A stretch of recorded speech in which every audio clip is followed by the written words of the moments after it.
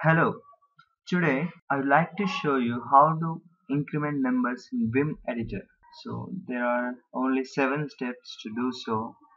So first step is to record the line you want and then you have to copy paste it once and then you need to increment a number in the second line then you call it how many times you want so simple now I'll show you how to do that. I'm using git bash in my windows to get my vim editor. These are the steps you can follow. I wrote on my notepad. Let's get into that. So vim is the command to enter into vim editor. I'll name it as ink dot okay this is my vim editor if you want to write something you need to click insert or I. Okay. You see insert here. Okay. the line you want is increment 1 so I want to copy this for 64 times but not increment 1 increment 1 increment 2 up to increment 64 okay? That's I want to do so we need to record this. So click escape.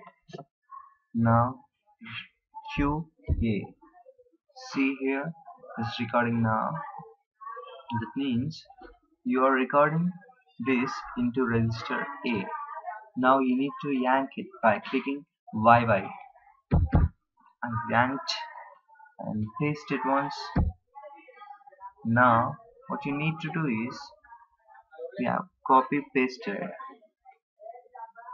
Click shift cap means shift 6 and control A. So you noticed the number increased. Now we need to stop recording right? So click Q. So recording has been stopped.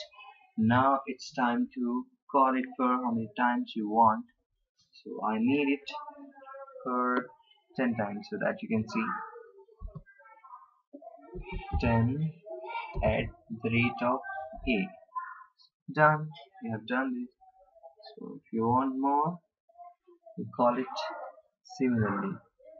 So how many times still I want 52 times sorry. Yeah 52 times.